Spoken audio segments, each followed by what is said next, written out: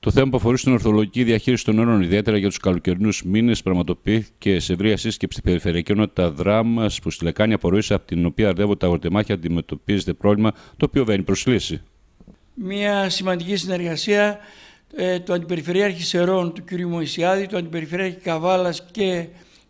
της δικής μου για το θέμα της ορθολογικής διαχείρισης των νερών, ιδιαίτερα για τους καλοκαιρινούς μήνες που στη Λεκάνη απορροής από την οποία αρδεύονται όλα αυτά τα αγροτεμάχια αντιμετωπίζουν πρόβλημα. Καλέσαμε όλους τους στο ΕΒ για να υπάρχει συνεννόηση, να υπάρχει κατανόηση αλλά και σωστή διαχείριση για να μην αντιμετωπίσουμε τα προβλήματα τα αντιμετωπίσαμε πέρσι και ήταν πάρα πολύ μεγάλα και δύσκολα. Πιστεύω ότι μέσα από αυτήν την ε, σύνδεση αποφάσεων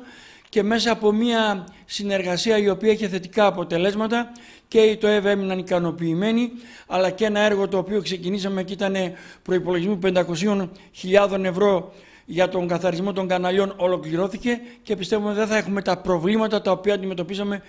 τα προηγούμενα ε, χρόνια. Παράλληλα, είχαμε και μια συνάντηση με τα Προεδρία των κτηνοτρόφων για την άδικη αντιμετώπιση την οποία έχουν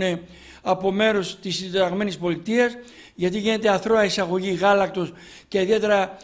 ε, γάλα το οποίο δεν ελέγχεται και το μικροβιακό φορτίο πολλές φορές είναι πάνω από τα όρια και δημιουργεί προβλήματα για να στηρίξουμε, να προστατεύσουμε και να ενισχύσουμε την προσπάθεια την οποία κάνουν οι κτηνοτρόφοι μας σε μια δύσκολη περίοδο που πραγματικά θα πρέπει να δούμε με ιδιαίτερη ευαισθησία τα μεγάλα οικονομικά και κοινωνικά προβλήματα τα οποία αντιμετωπίζουν γιατί η ύπεθρος ερημώνεται και ένα σημαντικό και δημιουργικό και δυναμικό κομμάτι της κτηνοτροφίας μας αντιμετωπίζει μεγάλα οικονομικά